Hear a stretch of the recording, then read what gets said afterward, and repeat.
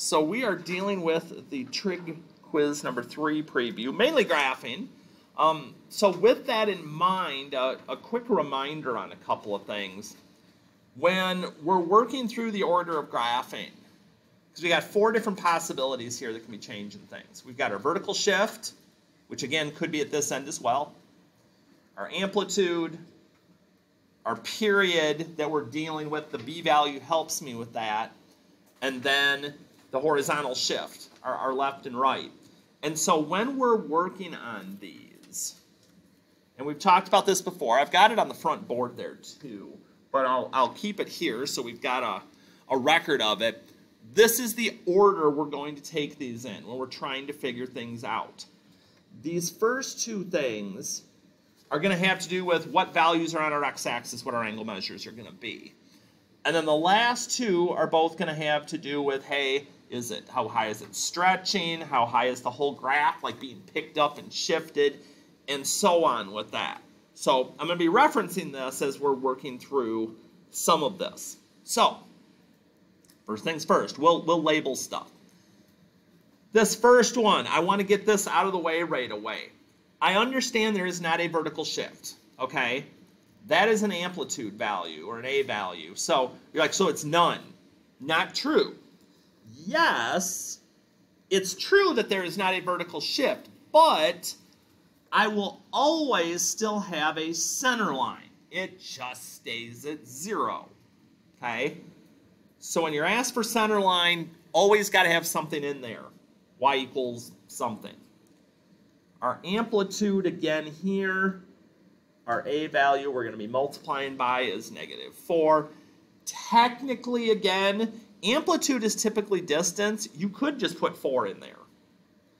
I just usually put that to remind myself, hey, I'm going to be multiplying my values by this negative value, so it's going to flip my graph. My period, since that is typically going to be 2 pi over b, and my b value is 1, there's nothing here in front of x. It's just going to be a regular old 2 pi. And again, phase shift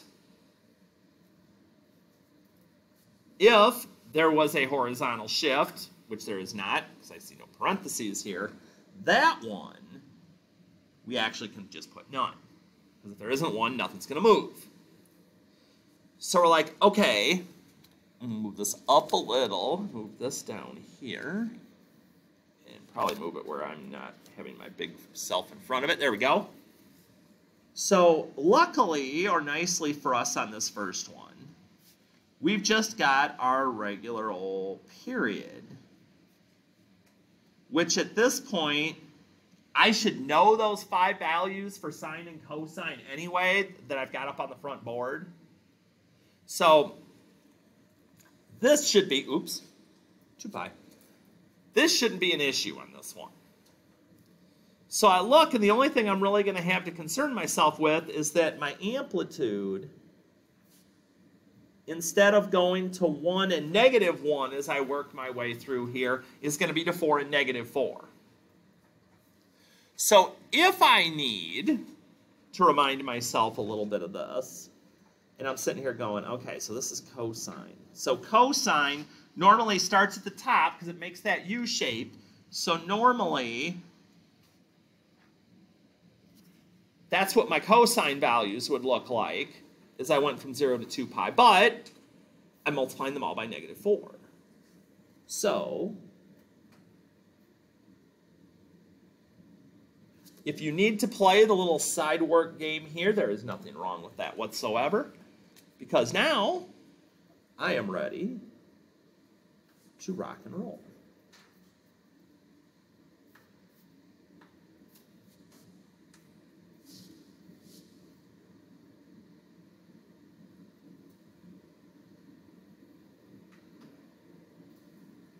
So, a couple other things to mention on this first one, because I didn't read through all the directions when we first started. For each of the following, name the center line vertical shift. Okay, we did. The amplitude, yep. The period, yep. Phase shift, yep. Then graph one period of the function described. Okay, that's fine. Making sure to label five ordered pairs for each graph. Okay, here's all I'm saying with that. I need to make sure that your axes are labeled and that I can clearly tell where the values are and where you're putting your points. Because it doesn't mean you have to literally put like a coordinate point for every single one of these. Because what I've had people do in the past is they're like, draw me the picture, and they like won't label these things at all. And I'm like, okay, you can show me what it looks like, but that's not really accurate. So just make sure you're accurate with, with describing where everything's at. That one's good. So I get to this next one, and I'm like, okay, let's see here. We'll keep this handy.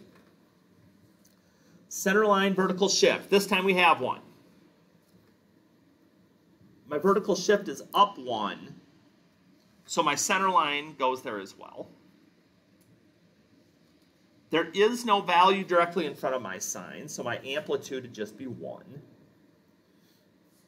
No value right in front of x here, so my period, I'm being nice so far, the period hasn't moved, oh wait, but we have a phase shift. When you have your phase shift, include in there what direction you're moving. So since it's always the opposite, that's going to be going to the right. So I start doing my thing. I'm like, okay, period, that was normal again. For the time being. You're like, ooh, Harty. So let's let's chat about this for a minute. So possibly before I make my points here, yes, I know this is going to be 2 pi. So I'm like, okay, so 0 pi over 2 pi, 3 pi over 2, 2 pi. But they're all being, because these are connected, my first two things, I have a phase shift. Okay, I have a horizontal shift of right pi over 4. So I need to add pi over 4 to all of these before I get myself too far in. I mean, I could put these and then shift them all, but man, that's a lot of lines to keep track of. So remember, pi over 4 is just like adding a fourth. 1 half plus 1 fourth is 3 fourths.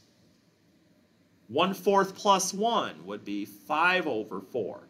At this point, I would hope you're seeing the pattern develop. One, three, five, seven, nine. Those are the values that should be showing up down here.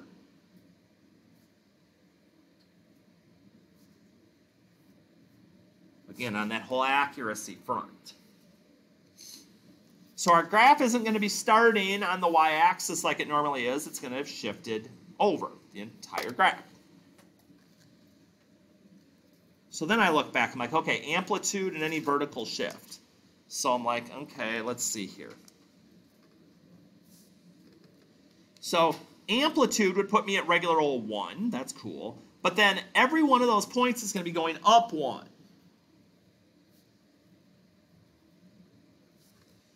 So again, sine typically starts at 0, goes up, back down to the bottom, and goes here. But they're all moving up 1. I'm even going to put my center line in this time here. There's my center line. So with sine, we started our center line, because these are all going up 1. Go, ah! Don't do what Harty did. Don't do it cover that so I don't con continue to do that. Up to the top, add one, add one, add one, add one.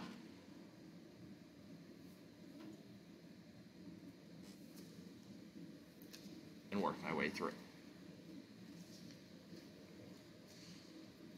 So again, it's easy to make the boo-boo like I do, and if I did, again, grab a second color tomorrow, put it in with that, X out some things. It happens. It does. And then we can kind of work through that. Again, been nice so far on the period thing. Oh, wait, I spoke too soon.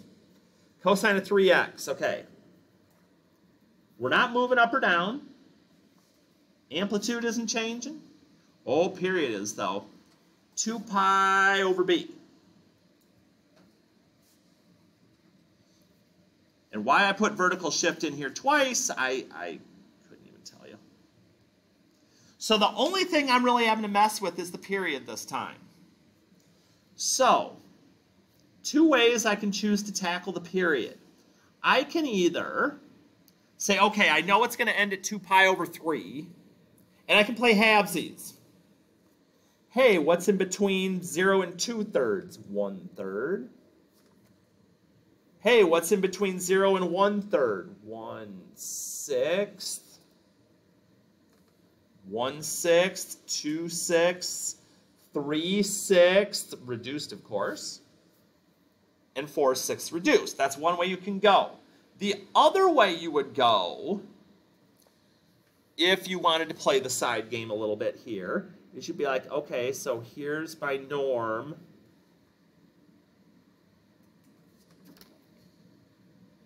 Since my b value, we're going to divide by 3, or that also means you multiply by a third.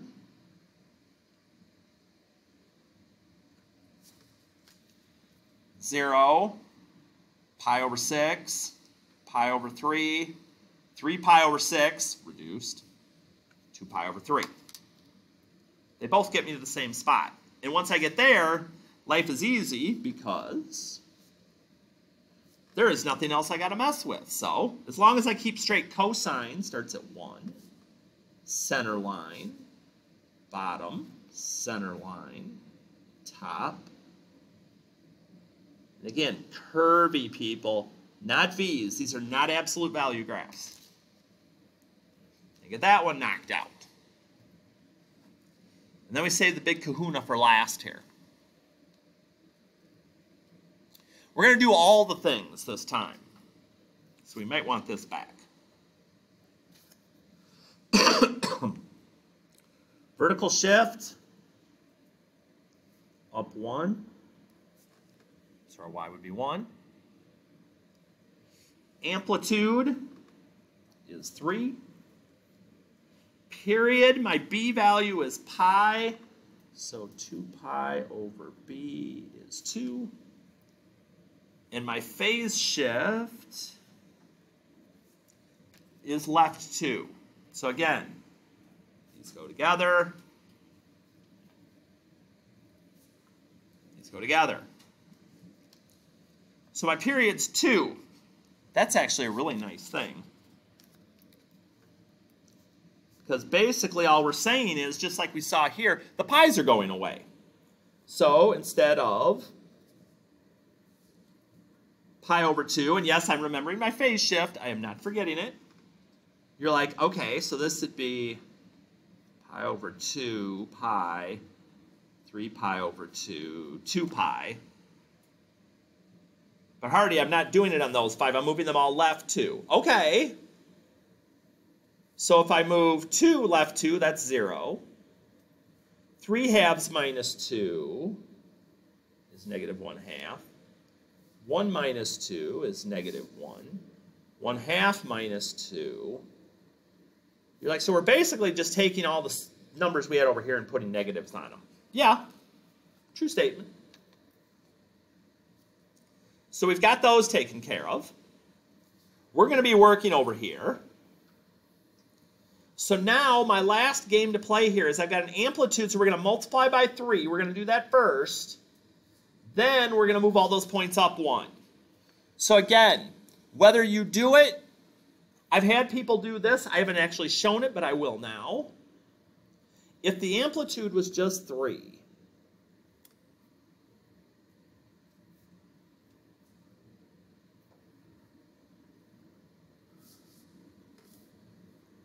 You're like, okay, so sine, I'd be starting here. So 0 times 3 would be 3.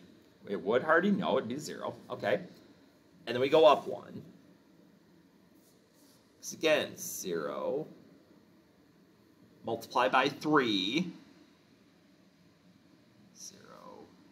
Negative 1. 0. That would be my amplitude values.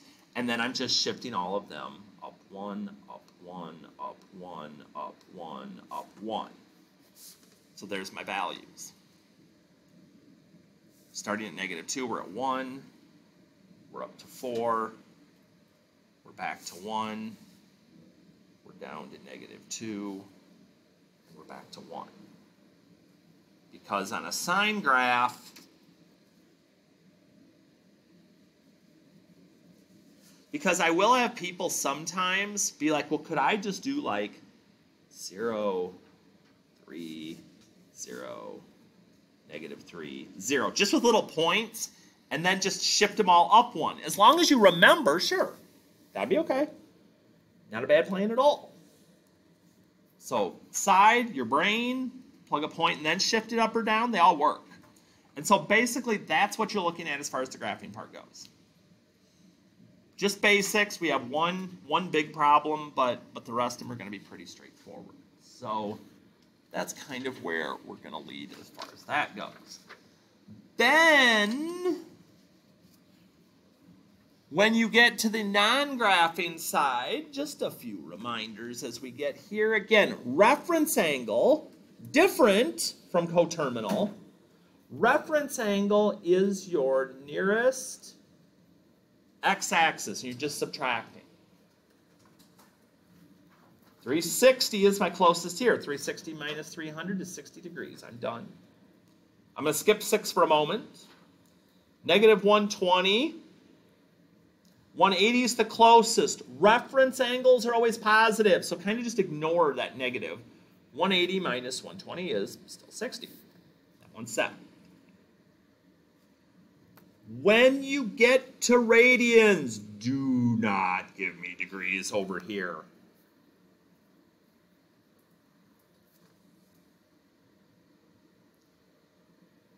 So you're like, ew, I don't like that very much. Okay, so here's your options. I mean, to me, I look at it and I go, okay, two thirds is close to one. So one minus two thirds is one third, and I'm done. If that is not how your brain is working, that is okay. You always can say, well, one is close to two thirds, and do one minus two thirds. And do it that way. But I do not want to see, oops, sorry about the glare. I do not want to see decimals. I do not want to see that being said 60 degrees. Okay? Same here. 5 fourths, really close to 1. So 5 fourths minus 1, minus 4 fourths. Don't lose your pi. Again, always positive, always nearest x-axis. And always start and finish in the same. Degrees to degrees, radians to radians. Conversions, well, this has been a while. Convert each degree measured to radians and radians to degrees, okay? If I want degrees to disappear, whatever you want to disappear goes in the denominator. But please reduce. We don't put we don't put the pi in the calculator, but it does stay till the end. And then here, same thing. If I want to get rid of pi, put pi down in the denominator.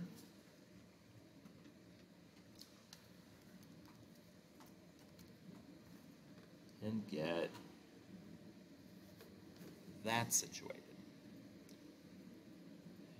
And then everything else is exact values. Now, when we get down into here, a couple of ways you can tackle this. I personally would try to keep working with reference angles and figuring out that way. Now, is it possible to bust out the unit circle that you have? It is. But it also, for the most part in these questions, has been purposefully set up between radians, tangent, negatives, that you're not just going to copy something directly off of here, unless you're really thinking about it. So for instance, sine of negative 135 if you're on your A game and you pull this out, you're like, okay, so negative 90 and another 40. This is negative 135 right here. And I'm looking for sine, cosine, sine. I can literally take it off of here.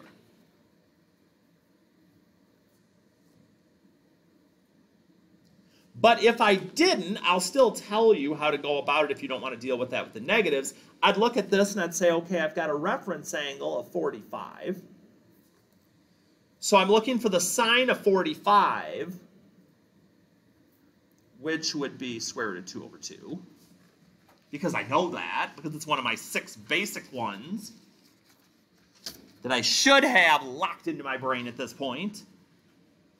But then negative 135, all students, I'm in the tangent region. This isn't tangent. I'm done. So I don't care which route you go. You have the tools to do either. I mean, long term, this is probably the smarter thing to do. But again, sometimes we always think you know, short term. So cosecant of 150.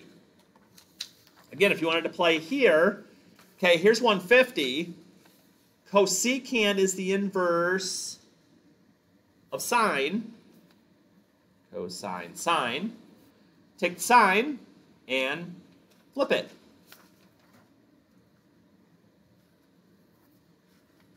My business. So as I'm doing these, I'm going to go back and forth between, you know, reference angle, using the circle, reference angle circle. Sine of negative 330. Reference is 30. Sine of 30. Sine goes smallest to biggest. That's 1 half. Where's negative 330 going to be? Uh, 180, 270. Negative 330 is over here in the all quadrant. So we're positive. So as I keep saying here, exact value, do not give me decimals of any sort, any type, any way. Harty will lose his mind. Okay. Oh, negative pi over 3. Tangent of negative pi over 3. So we're looking for the tangent of negative 60. So you're like, okay, so negative 60. Here's, here's negative 60. So tangent, so tangent is sine divided by cosine. So I'm like, okay, so at this negative 60, sine is negative square root of 3 over 2. And cosine is 1 half, but if I'm dividing by 1 half, that's the same as multiplying by 2 over 1. So we'll just zap those. And I will admit one thing. The nice thing about using the unit circle is all the signs are going to be taken care of for you already. So you're not going to have to go back and think about it, what quadrant is it, because it's going to be done. Ooh, I was wondering when one of these is going to come up. Cotangent of a quadrantal. A quadrantal, again, means it's showing up on an axis. Okay, there's my 90. Cosine and sine. So 0 and 1. But cotangent is the inverse of tangent. so cosine, which is 0, would go up top. Sine, which is 1, would go down below. And 0 divided by 1 is 0. But if it was the other way around, and you're dividing by 0, that would be undefined, because we don't see that. And so as I keep kind of bopping along here, I'm like, okay, secant, the inverse of cosine.